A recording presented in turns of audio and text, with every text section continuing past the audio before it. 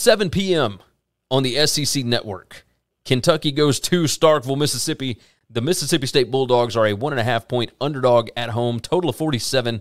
Uh, State 5 and 0 straight up the last five times that Kentucky has come down to Starkville. Kentucky has not beaten them in Starkville since 2008. 2008, man. Uh, but this is not exactly, you know, when we were in high school or whatever. It, it's not the same kind of Kentucky football team. Kentucky is 6 and 1 against the spread so far this year.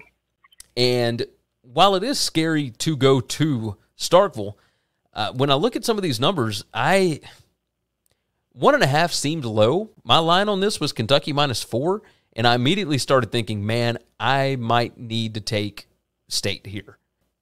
And if you look at it just across the board, defense, offense, everything else, as far as success rate goes, Mississippi State has been really successful. But I think I think Kentucky's one of those teams that just finds a way to win no matter what. I'm I'm gonna ride Kentucky minus the one and a half.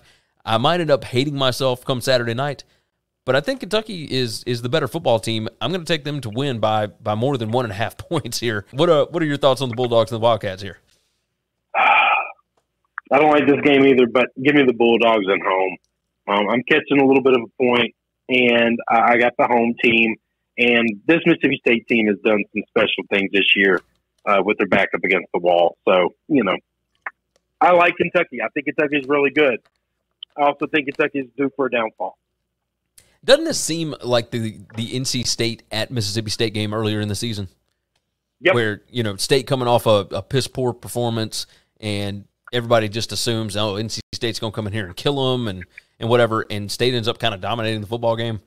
I like I, I got to trust my numbers. I got to trust my process here. That's why I'm rolling Kentucky. But man, I could hundred percent see State coming out with a win here. This 335 defense that Zach Arnett runs is no joke. And, and I don't think Kentucky's seen anything like it thus far this season. Thanks for listening to the Winning Cures Everything podcast. The website is winningcureseverything.com. And if you want to connect with us, we're on Twitter at Gary WCE, at Chris B. Giannini, at Winning Cures, or you can email us, Gary at winningcureseverything.com or Chris at winningcureseverything.com. Subscribe everywhere you need to subscribe, and we'll see you soon.